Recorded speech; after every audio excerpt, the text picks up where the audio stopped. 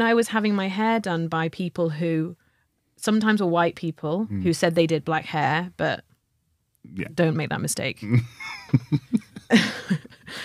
Get that white person away from your head. Welcome to In Polite Company, where we talk about all the topics that interest us and that impact our lives as queer black people in the workplace. I'm Ella, and I work with companies on transforming their leadership cultures. And I'm Kieran, and I'm a leader in design and research in the tech space. How have you been since the last episode? Like um, the first, our first foray, which we said was a bit like a pancake.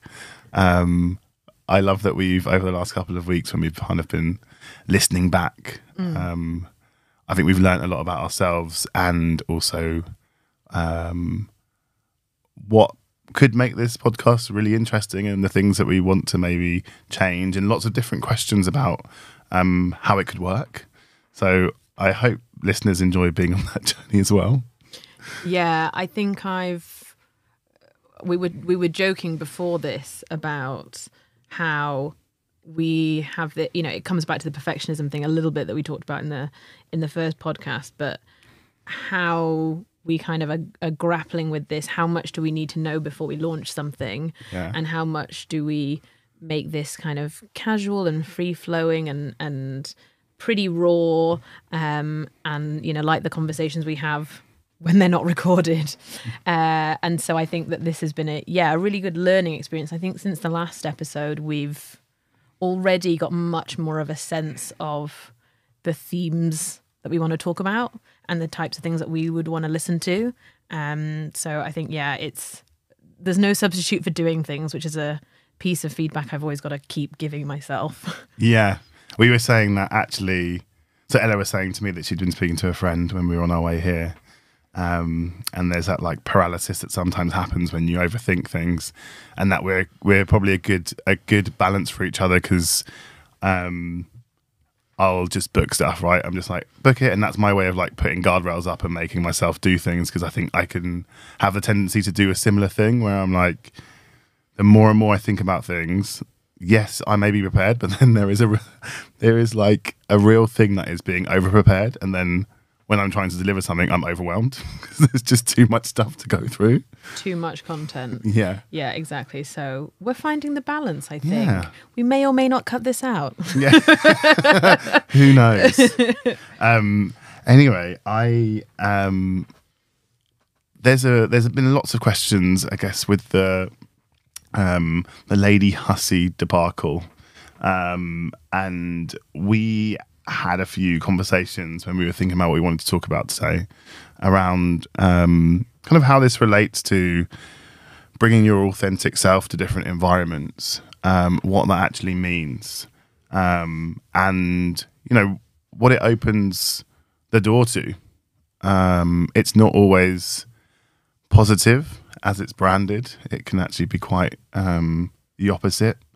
Um, it, I think it's oversimplified, but I'd be really interested to get your thoughts on that, Ella, of what bringing yourself to work means to you, and maybe some experiences you've had with that.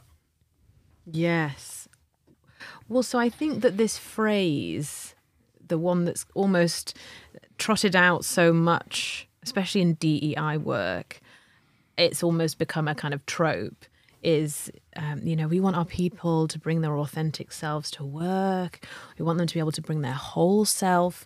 And, um, I'm talking about this in a slightly mocking tone, but but the the principle behind it, how I interpret the principle behind it, I think is is a noble one. It's this concept that different types of people who have different life experiences and different backgrounds shouldn't have to conceal or hide or circumnavigate parts of themselves when they show up at work. What we're essentially talking about is we sh- we shouldn't have an environment in which people need to code switch. Yeah.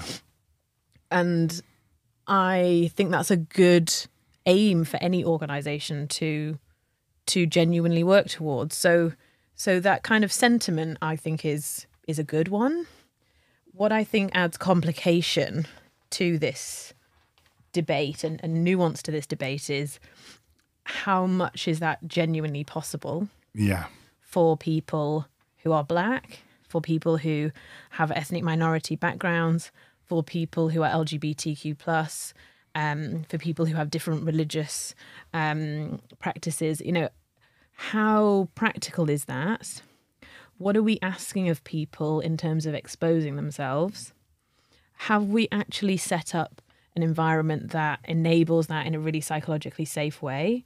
So, are we putting the burden on those people to to Figure it out. you know to show up in ways that are uh, that involve risk that could also involve um, them being perceived in a certain way or looked over or whatever and so i think there's a lot of nuance to this that sometimes that well-intentioned statement doesn't recognize Yeah, it's almost like, and I said just before, it sometimes feels to me like it's oversimplified, like most of these things are, right? It sounds good. Um, the idea of it is positive, and everyone definitely can buy into it. Um, and the idea being that if you're able to bring your yourself to work, you'll be more engaged. You'll be in an environment that's more accepting. Um, you'll be you'd waste less time, so you'll be more efficient because you're able to kind of not have to navigate some of the things, um, especially if you're having to code switch.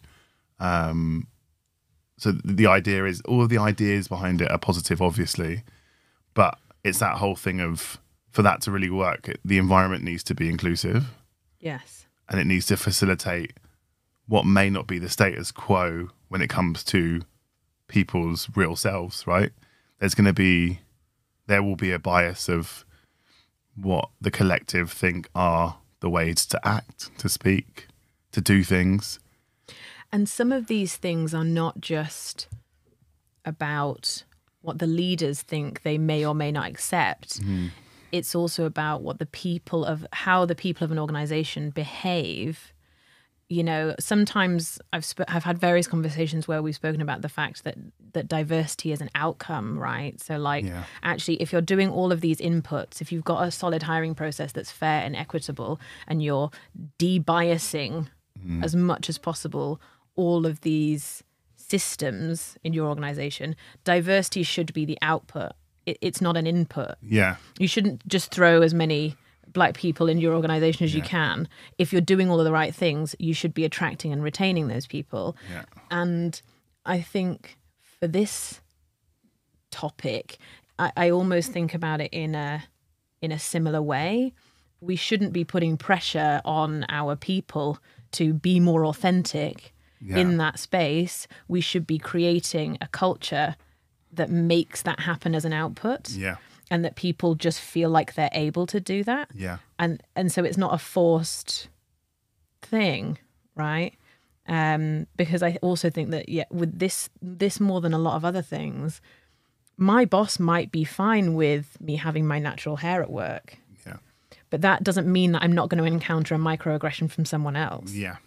and so it's the entire organism of the environment as a whole that determines how much of my authentic self i bring Yeah, and the intention to the intention isn't where you stop, right? And it shouldn't be the measure of of um you the measure of success. So like the intention is that everybody feels comfortable at work. So Ella, wear your hair however you want and however you feel most comfortable.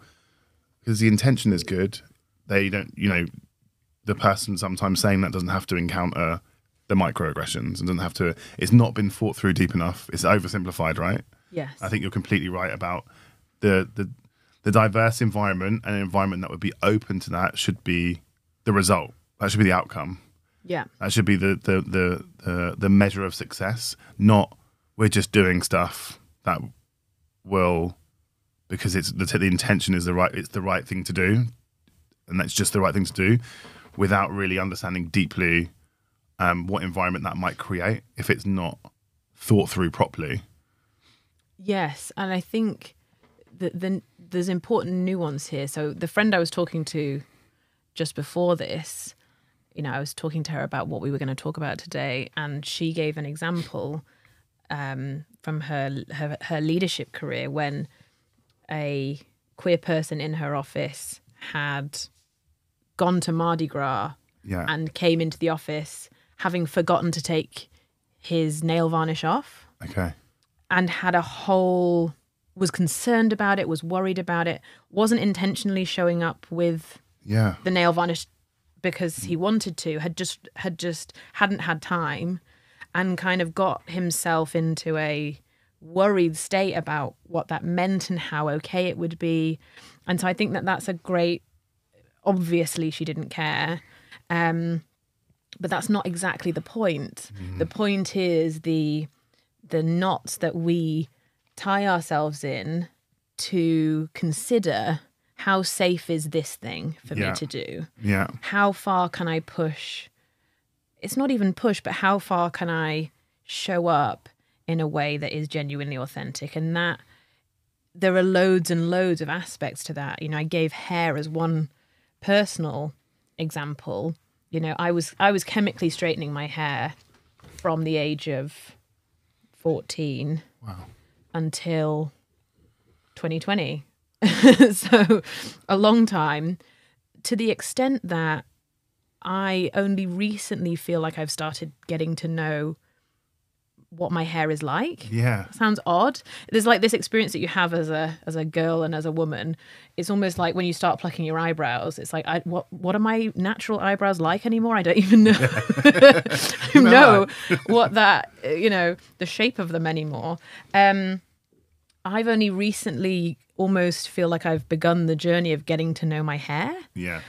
because from being like a preteen, I was I was manipulating it into a form Yeah. that felt acceptable to broader society. yeah. And I implicitly understood what it said about me before I entered the world of work, even what it said about my desirability, what it said about um, how attractive I was seen, how how feminine I was seen as, how you know I I understood implicitly all of those things before I even you know ten years before I I f- more formally entered the world of of work, and it seemed like a given to me. No one said to me, "Straighten your hair because it's professional." yeah. Nobody Yeah. had that conversation. Yeah. That was just baked into my psyche. Yeah. Yeah. Very much programmed, right? Yes. and there's a and and that is so there's there's like conscious code switching and there's just like programmed code switching i think where you've like you're you've done it as a as a survival mechanism seems extreme but it kind of is right? Like it's a, a, co- a coping or surviving mechanism um that is almost unconscious. It's like oh that's just why would you not do that?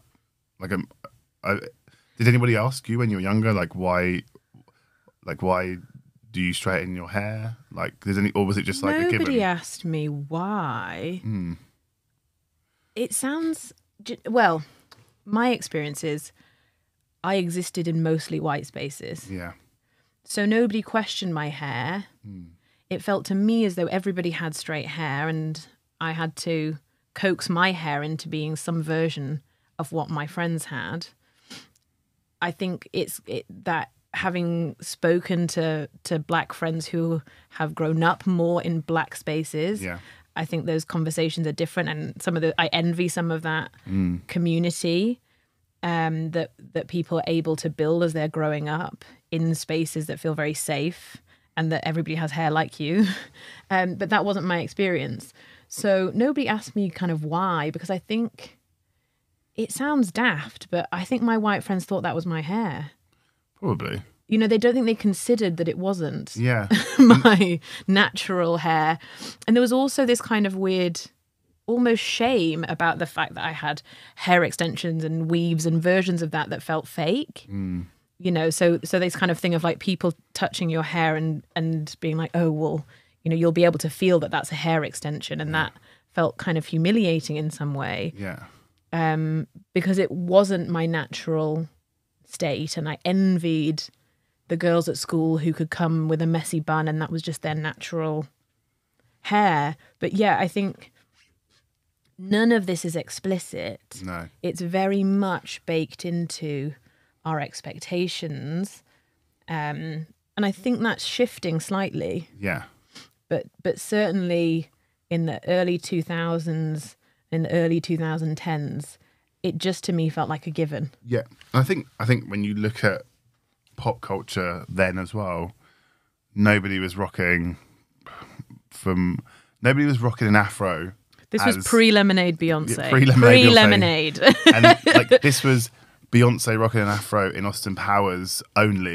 yeah. Um, like, But playing a right? caricature. playing a caricature, right? Um, and I'm sh- and very much a, a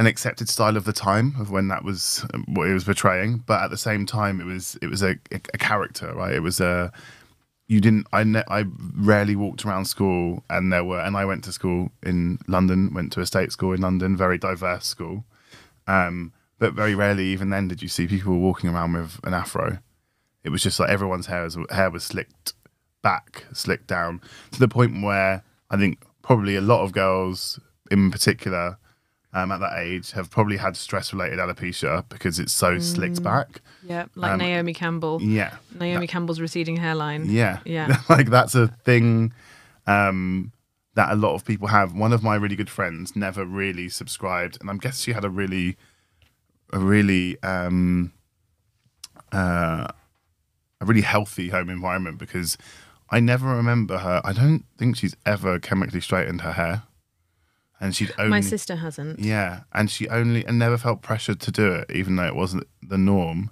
Um, wore protective hairstyles, um, and her hair is in such good condition now because Yeah. of that. Like people are like, how's it? How does your hair like grow so long? It's like because she's never actually put anything in it. But it's Like- interesting you Yeah. saying so many things have come up as you say that.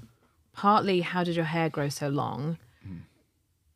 I used to think my hair didn't grow because it broke off constantly. Yeah, it was So I was just like, my hair just doesn't grow, as if that was some some Yeah. natural state that my hair just only grew to, grew to a certain length. Yeah. So part of this getting to know hair is me realizing, oh no, my hair does grow Yeah, when it's not um, being chemically straightened to, to to the point at which it's breaking off. yeah, Um, but I think that also, to your point about home environment, some of these things have to be, I think, almost extra explicit to counteract the messages that society just gives you.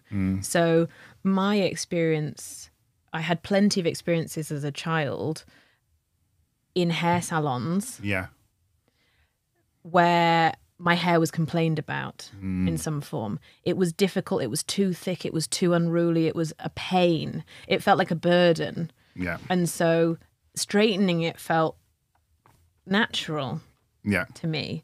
I'm only now realizing I'm a mixed race person who doesn't really have a super, super coarse hair hmm. pattern. It's not. yeah, But I was having my hair done by people who sometimes were white people hmm. who said they did black hair, but Yeah. don't make that mistake. Get that white person away from your head. but like, it's not really white people, it's white salons. It's like white Yeah. salons that say they do afro hair. yeah. It's not true, pretty much ever.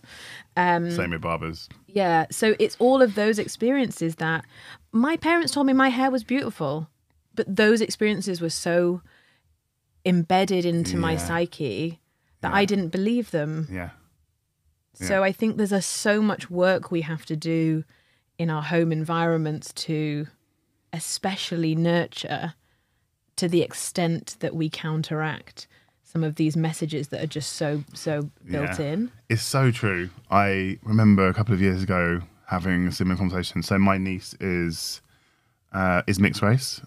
My sister's similar complexion to me. Don't know how to describe that, but it and her her my niece's dad is Irish, so white, white Irish.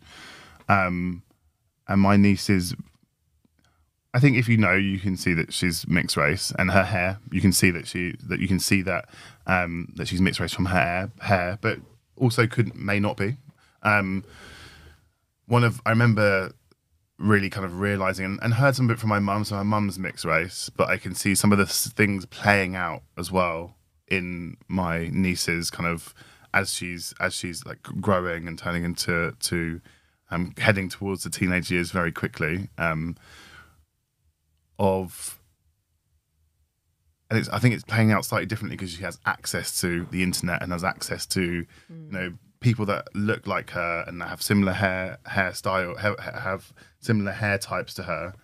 Um, but there was a phase where she was um, straightening her hair, like now and then, um, and she probably has similar a similar a similar hair type to you. Um, so if even with a with a hot iron, I'm sure when it's straightened, it just goes completely straight, right? Yes. Yeah, it goes completely straight, and it would look like it grows that way. Yeah. Um, put some water in it, and it will go back to its natural um, natural curl. Um, but I notice her doing it more and more.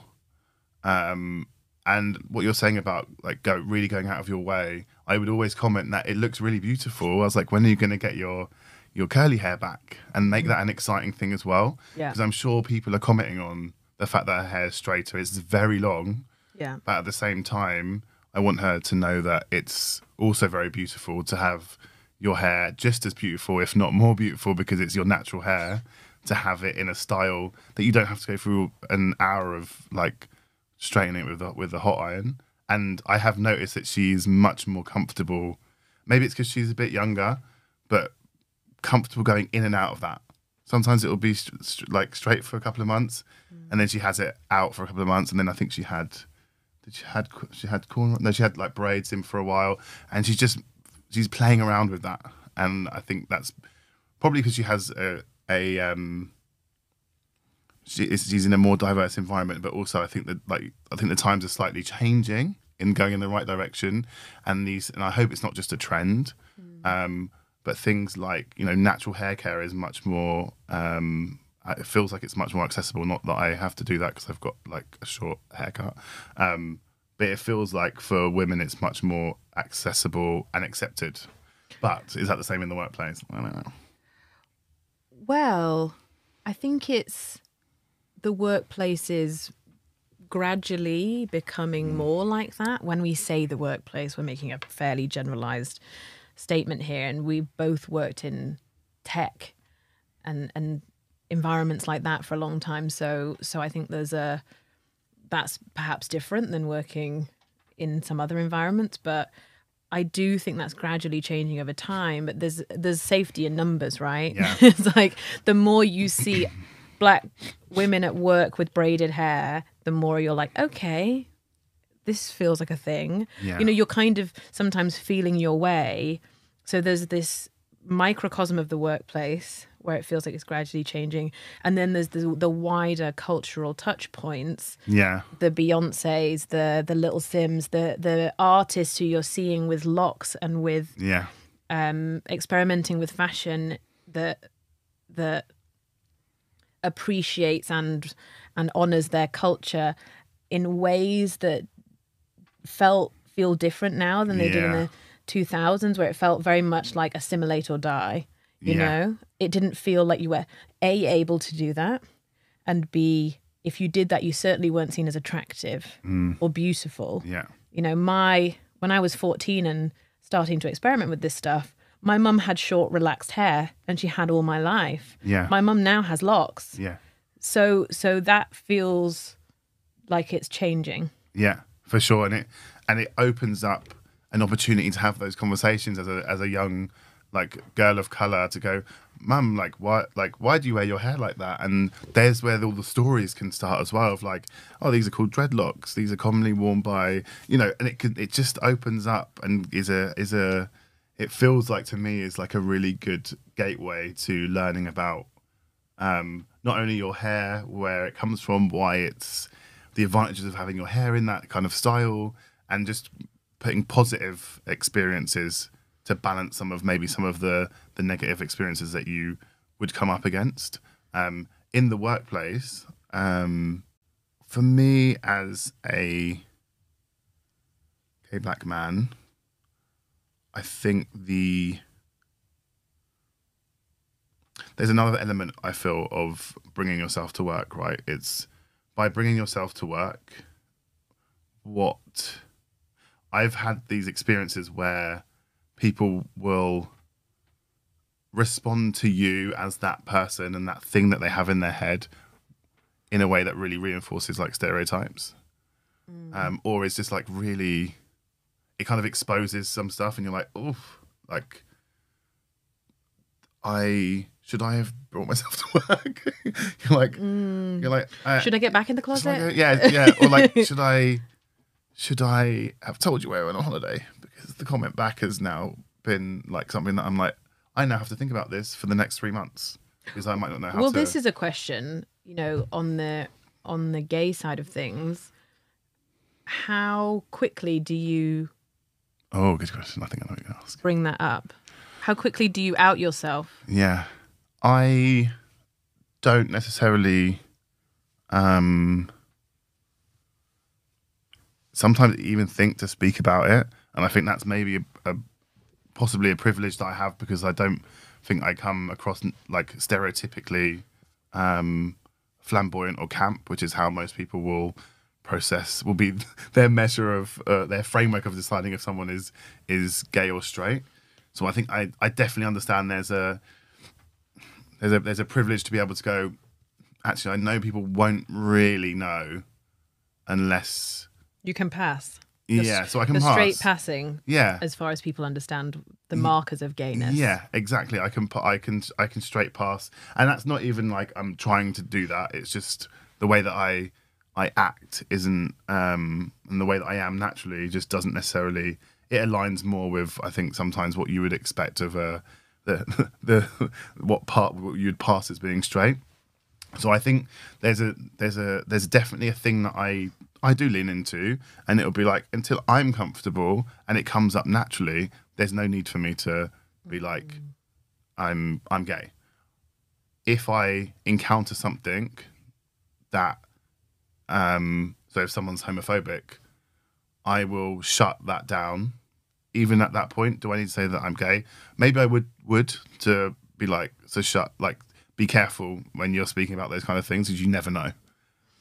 Interesting. Yeah. I almost think that I am less likely to bring it. If I witness someone being homophobic or they're being homophobic in my presence, I think that I don't tell them Yeah. because I think, and this is incorrect, but there's a, there's something where I think it undermines my argument that I am doing it from the place that it's personal. Ooh, tell me more. So there's something. So I'll give you an example. Yeah. We are. I'm segueing here. I um, I had an experience once at the hair salon where any any black women listening to this will know that going to the hair salon especially in the in the years when you're straightening or weaving or anything like that it's a whole day. You're blocking out the day. You're going on saturday morning. Eat before you get there because it's going to be a long day um so i was in this chair and i'd maybe been in the chair for an hour and i had another you know most of my marathon to go. And the woman doing my hair started subtly saying some homophobic things you know started saying some i'm fine with it. I've got gay friends. And you know you start to go hmm, amber, But- amber flag. But- where are we going? Uh, but i don't want it around my kid. And i was like Ooh, now we're in now we're in I'm Uh, turning inside out, by the way. If you wanted a mental like, So I I because I'm unable to not started saying what what exactly is it you don't want around your kid. And so anyway, we got into this we obviously got into a conversation about it and it obviously became very challenging and I then had to sit in the chair for another 3 hours. But in that moment I deliberately chose not to say, well, I'm queer yeah, because it somehow felt like that makes it a problem because I'm queer. Because you've happened to say the wrong thing to the wrong person rather than you've said the wrong thing full stop. yeah. I I think in that situation, I it wouldn't be for the same reason, but I totally understand why you would do that and why it would feel why it could feel that way. for me, if I was in an environment where I didn't feel safe, I would do the same thing. So I wouldn't. Yeah, that may have been part of it Yeah. subconsciously. I wouldn't- Of, uh, you've got your hands in my head. Yeah, You're saying some pretty nasty things, yeah, violent things, really, yeah, because I think words can be violent, and I, you're in a position of power in some ways. yeah, I, I can't leave. Well, I could leave, but I could leave with half my hair done or whatever. yeah, So maybe there's a subconscious part of that that was self protection. yeah, and I, and I, yeah, because I, think in the workplace I couldn't. Well, actually, I no, no, well, it's not the same. But I think in the workplace I would feel really. I couldn't walk away from that situation, and I may not say that I'm gay, but I'm definitely going to deal with it. Oh in a in a like if if it was that extreme, I would feel like I need to either respond in the moment, and I think maybe that comes with some seniority of going, I, when that's not we're not going to talk about that. We're not going to think about that that way, right? Like full stop. Like we're not going to start going down that route. Have your own opinion. Don't bring that to work because that is inflammatory, like homophobic opinions, and that's not the type of culture that I would want to be involved in or be a part of. And if there, if I was in a in a in culture that encouraged that kind of behaviour, I will not be around for long. Um, and so I think it, I think it, I think it just is so complicated as well. Like the more you talk about it, different scenarios. Sometimes you're faced with having to make a decision then and there, and you may not have the energy. That's the other thing as well. well, I think this kind of begs the question of is there a distinction? Because I think these things are uh, off, these words are used interchangeably. Yeah, Is there a distinction between bring, bringing your whole self to Yeah. work, yeah, warts and all, you know, whole self? Do you bring your weekend self, or uh, and do you bring your authentic self? And what does authentic mean? So for me, you know, the the distinction between those two things is I'm never bringing my whole self to work, people. Just I'm just not doing it. I don't think actually the workplace deserves my whole self mm. and it has a right to my whole self. And I think we show up in different environments naturally with different selves. That's not inauthentic. That's just that's that's kind of part of of human nature. Who I am on Saturday night with my friends is different than who I am when I go home for Christmas is different Yeah. than who I am in the workplace. Um, I think that there's a way to bring, or or I have found some way to bring a version of my authentic self to work, which isn't raw, isn't unfiltered, is still is still polished in some way yeah, um but it's but it's it's the version of myself it's the it's the level of authenticity that i feel comfortable bringing um and it's it's casual and it's um you know i bring in aspects of my life but i don't but i but it's still um curated Yeah. almost. And how far do you curate and how far do you still feel you need to it just curate? it reminds me of um, oh maybe we'll insert it into um, this discussion. So um, i saw a tiktok the other day of of this and i shared it with you and it was this guy saying um, i think the question was what's the corporate advice that someone's given you um, that you should ignore or something like that something along those lines. And it was like just don't bring yourself to work. Like don't it's a trap. Um and and and it was quite funny. It was done in like a funny funny way. Um but i then went down and i will answer your question but it just reminded me of that. But i then went down the comments and this is what i love about tiktok. The comments are really commenting all the time. Like they're doing their job. They are always giving me the most amount of laughs ever. So i'm i'm going to just read a few of them. Um so this is like this is people basically just giving advice based on that on like doubling down on the the point of that that TikTok. Um, so one person put talking about your pets is the safest way to appear personable, but doesn't give away too much. Nice. and someone's written as a reply, "Yep, I have stock pictures of dogs on my desk." Just like Just making stuff up. golden Labrador, please. It's like, oh, everyone's got the same dog then. Um, another one said, um, my manager was irritated when he asked me to tell him something interesting and told him about the weather. Nope, won't catch me slipping. um, someone just put, and don't trust HR, which is like interesting. I want to know more about the reason why why that person feels like. And I think there is there is some there is some some I think the way that HR is sometimes branded. HR gets a bad rep. yeah, it gets a bad rep, and I think also, um, HR should be trustworthy. Yeah. If your HR is functioning as it should be functioning, Mm. Shouldn't be a zone in which you. But I think actually lots of people's lived experience of HR is something different. so th- I have this thing with HR, right? And I, I and and and I, I love HR, like in terms of like, I think there's so much as a as a leader, um, and and a lot of the time like managing people within the organization, I always lean on HR heavily.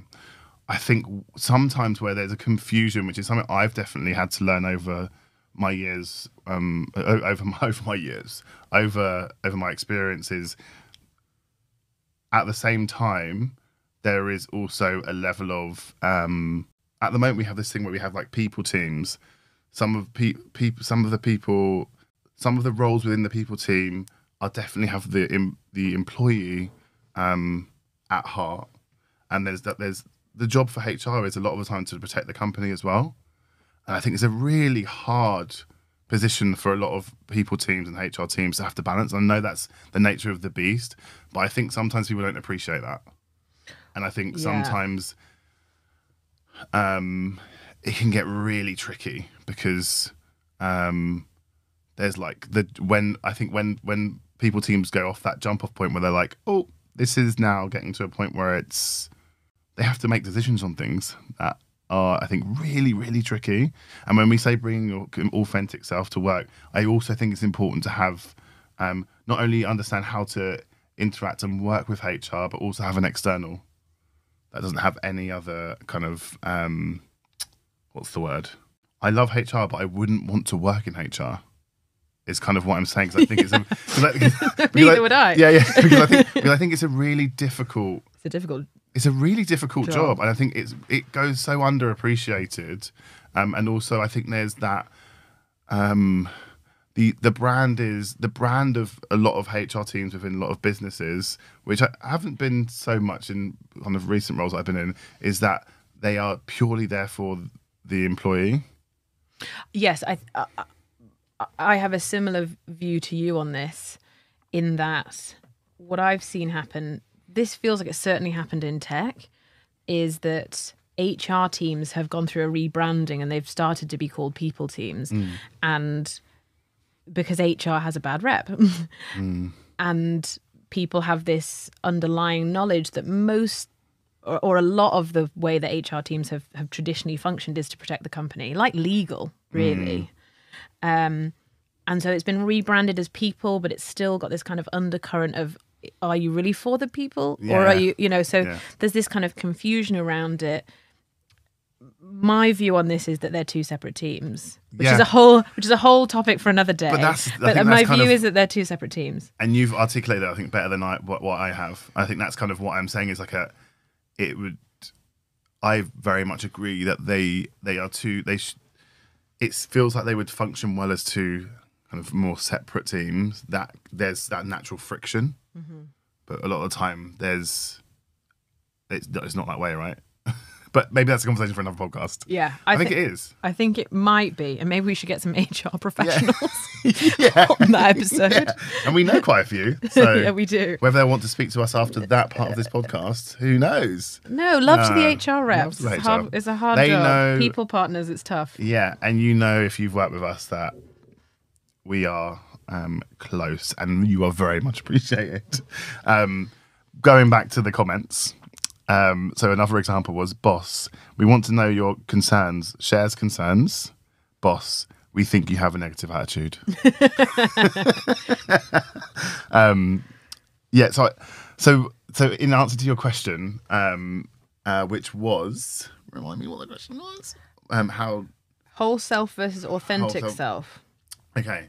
So for me, it's about, I think, probably very similar. It's about getting that balance. I am not going to take Kieran with my close group of friends that I've known for over 20 years, um, who have a lot of context in um, and, and shared experiences, and just act exactly the same way because they know me in a much deeper way than um, someone I've been working with for six months would, or someone I haven't even been working with for six months would. At the same time, I think that I have become a lot more comfortable with sharing the more casual Kieran, um, and actually think it's gone in my favour. But it's not.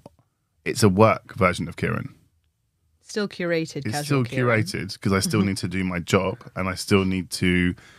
Um, there's more than just bringing yourself to work.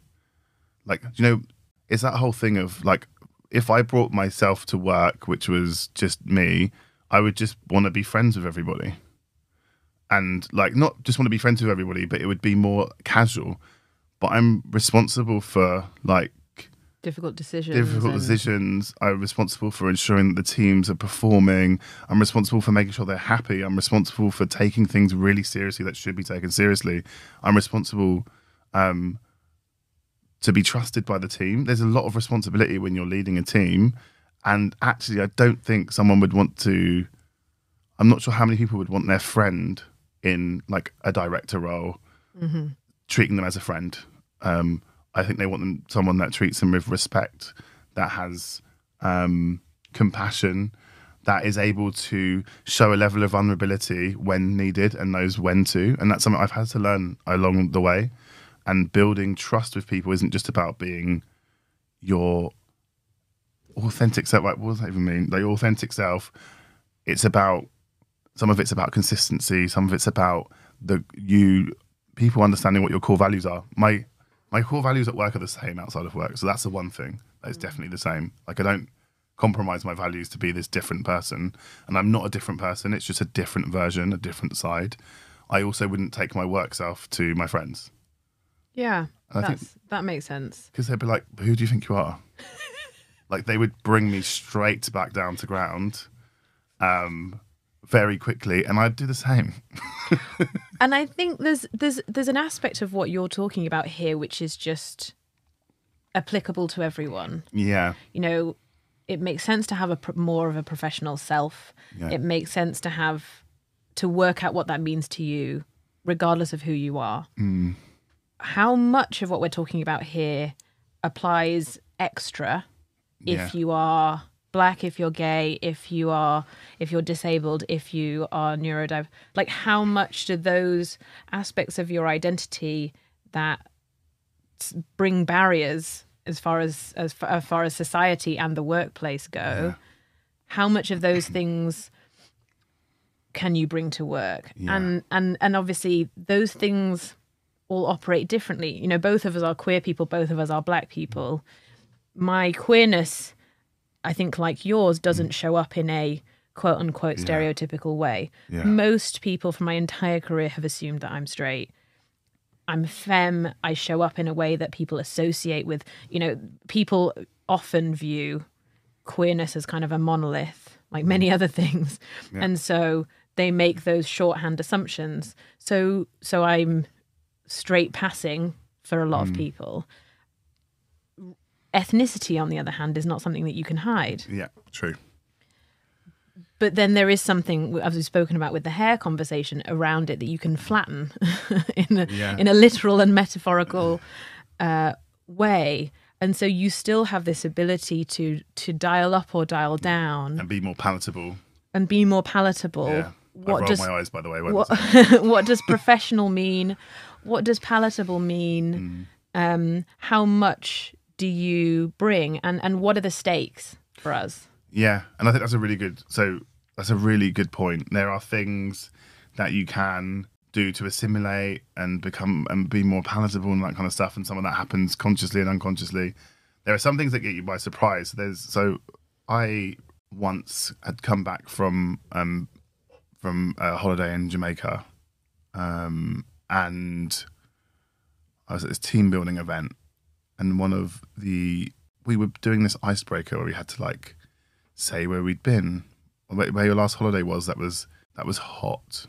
What was it? Your last holiday that was hot, and then no. So you had to say where the, the last place that you'd been to abroad. Um, I can't remember the exact questions. Anyway, I it was like a speed dating format where were like thirty seconds, ask those questions, answer them, and then do it back, and then move on. And in this specific scenario, um, I'd moved to this person who is a white cis man, as far as I'm aware. Um, I think Eastern European, but anyway. Um, and I said that I'd just come back from Jamaica, and the person's first question was, "You're Jamaican," and I was like, Because there's no other reason to go to Jamaica. "Yeah." I was like, you know, when somebody just gets you by surprise, it's like, he was like, "No, no, just I, I, um." I- I'm just really surprised, like, because you know you don't speak like you know what I mean, like. right, it was, I was like, he was like blood dream, blah blah, and I was like, you know, when you're just like, Sharp intake of breath. I was like, It gets uh, I was like, um, uh, and then my immediate reaction was, well, I'm, I'm British. I was born here. My mum was born here. I didn't go into the details because I don't think it's a, it doesn't matter that my mum's mixed. I don't, don't, don't I'm not You going have to into that. I'm not justifying anything to you. But my immediate reaction was, I'm going to give you a quick lesson now, which is I'm British, and that's why would you think that just because my heritage and and is that I come from Jamaica that I would and even and what you're saying is not Jamaican. Like well, there are so many layers to this. yeah, so many layers. The first instinct that you would have only gone to Jamaica as a as a brown person Yeah. if you're from Jamaica. That's the first assumption. Yeah. You might not be Jamaican. I'm not Greek. I've been to Greece. Yeah, So there's that there's Yeah. that initial reaction. Then there's the you don't seem like a Jamaican in my assumption of what a Jamaican looks or sounds or, or yeah. whatever. And what like. he described was Then I'm going to do an impression. yeah, yeah, which was the impression was of someone from London. Yeah, so he's uh, basically doing an impression of a of a kind of generic black person Yeah. in terms of the London stereotype. Yeah, and and just a, like a what do they call it? The ML MLE yeah MLE accent, which is a common accent which people associate with London youths. Like a kind Like, of patois. It's like it's like a patois, but it's a multicultural London English. It's not. It's got elements of lots of different cultures mixing together, but mostly associated with black people, basically in London anyway. Even though there are people that are just from areas of London that speak like that, but it's that idea that that is. It's just it was associated with. That's what Jamaican people speak like in London. It's like on the assumption that I know, as somebody who um, sounds like this person doesn't know any Jamaican people, yeah, as somebody who doesn't interact with or know Jamaican people, that I, the arrogance that I know what that is like, mm. you know, I, it's not typical to assume if you don't know any people from a country yeah, what that means or what that looks like. And in most other scenarios, you wouldn't make those assumptions. yeah. And where did you think I came from? I don't know any Belgian people. Yeah, Someone said, I went to Belgium. A, I wouldn't assume Yeah. that they're from Belgium. And, and, and B, I wouldn't then say, you don't seem like a Belgian person in my stereotypical assumption because I don't know what Yeah. that looks like. So there's these there's these assumptions that people make around your blackness yeah, what that means, how it manifests, what they are able to say to you unfiltered as well. Um, there's no there's no kind of thought pattern in that moment where he's gone, is this an appropriate thing to say Yeah. to this person? and I think the thing that that hits you even harder is I would have never have asked that question to him. It didn't even come into my mind. No. I would never have asked that question to him because I even felt weird about saying he was Eastern European. One, I'm possibly making an assumption, um, but two, I it just doesn't really matter. Uh, but what does then? But how that then compounds and why it's why it's important to uh, to describe that is, I am a British person and my Britishness is being questioned in a workplace environment, just like off the cuff, and not only is it being questioned, it's being questioned by somebody that doesn't that clearly doesn't have the knowledge and understanding or have done has not gone done any research to understand like the place that they're living in every single day and the people they're working with. And I, I'm not saying you have to go and go and do like a big education lesson, but that's like a basics. Like, why are you not interested in that? And that, that I mean, that maybe that's just a personal thing. When I go somewhere, if I'm going to live somewhere, even when I go on holiday, I want to understand like how the country got to where where it is and what the environment might be, and I want to have a better understanding. But maybe that comes naturally because you come up against these kind of things. But I think that's that's your inclination as somebody who has hmm. lived and in, at the intersection Yeah. of of various kind of minoritized experiences. Yeah. So you're more aware. and I think that this this experience that you've had, what I find shocking hmm. often when I talk to white friends, even in the early days talking to my partner, Yeah. how little people understand the the ordinariness of that exchange, the the ordinariness in terms of how frequent and how how kind of normalized that is. Yeah. how often you have to take that kind of blow. And and the blow is significant right? It's it's that's an example of of what might be termed a microaggression. Hmm. But the blow is not micro. No. it's a it's a deep identity hit that you take when somebody questions your hmm. Britishness in the moment Yeah.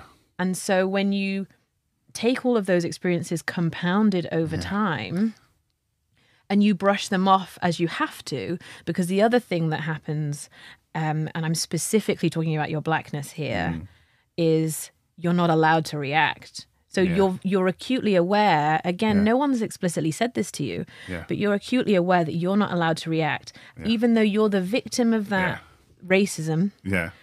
In the moment, if your reaction were, what the fuck? Yeah. I'm you become immediately the aggressor. So it's the blow and it's also the the internalization of I now have to work out how to calmly respond Yeah. to this reasonably, logically. Mm. And So there's no measured. So there's no way I can be seen as the aggressor To be here. squeaky clean, right? You have to be like there could be nothing that would be taken out of context or be perceived as something else. I think the other part of that, which is like, and I have to laugh about it because it was just like before I'd registered what happened and, and responded to it, it was like next, and everyone like moves along. I was like, Speed dating yeah. the and then I'm like, I'm explaining it, I'm then trying to, and I think it's like a really good, like, a really good example, even though it's like in that that specific environment, it's like an extreme of like what you have to do, right? It, you you take it on, and then I, I'm like, right, I'm gonna. Pro- it go it gets not locked away, but you're like, okay, I'm gonna need to process that. I'm gonna I'm gonna I need to process that. I know I'm gonna have to process that, but not now. And then Yeah. I then spent the next couple of like weeks and months, and it wasn't on my mind all the time, but there were conversations that I was having with like my my family about it, about what had happened, how they think I should, how I should approach it, what do they think, get other people's opinions, tell people how I feel. It's energetically draining. Yeah, and then I was like, I'm going to do something about it. And then I think when I decided to do something about it, the person left, and I was like, oh.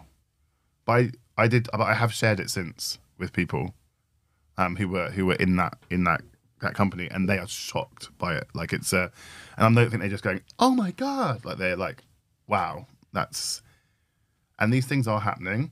But I think going back to your question, which I've managed to, I think, Avoid twice now. so I think the thing that I would say is I've become a lot better at sharing um, a measured amount of myself, which I feel is appropriate. And it's and these small things sometimes make you stop and think, but actually it wouldn't. I wouldn't have done anything differently in that situation. And I think the more I process those things, the more I will not only get better at responding to them and making sure that I can create help create an environment that that is it's, it's all education. A lot of this stuff, right? It's just it's. I'm sure it wasn't intentionally racist, racist, right? Not that I'm making an excuse.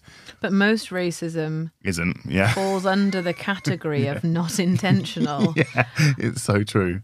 But I think it's it's not intentional, but it's blindly unintentional if someone isn't told that it's racist. If you know what I mean, like Yeah, there's an there's an intention versus impact yeah, question, and I think sometimes I said most racism isn't intentional. I'm not sure that's actually true. I think subconsciously a lot of racism is intentional, and Yeah. people often know exactly what they're Ooh, doing subconsciously a lot of subconsciously. But I think lack of intentional Mm, lack of intentionality can be an excuse. yeah, I didn't mean to be racist to you, or I didn't intend it that way. That's just the way you read it. yeah, So so it's a it can be a strategy to put the onus on you. Yeah. You've misinterpreted me. So that's a you problem. yeah, So I think that can be an excuse. Some some people are just genuinely oblivious. yeah. but a lot of that I didn't intend it can be uh, uh, something to hide behind. Yeah.